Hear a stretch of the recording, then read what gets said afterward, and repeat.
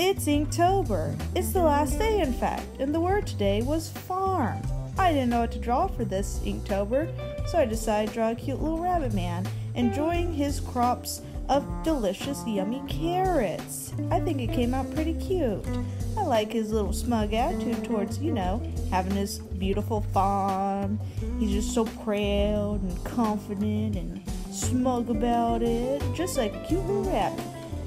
Yeah, came out pretty cute, I have to believe. For a furry, I mean, not a furry. Definitely not a furry. He's not furry. Uh, rabbits are not furries. Definitely not anthro character.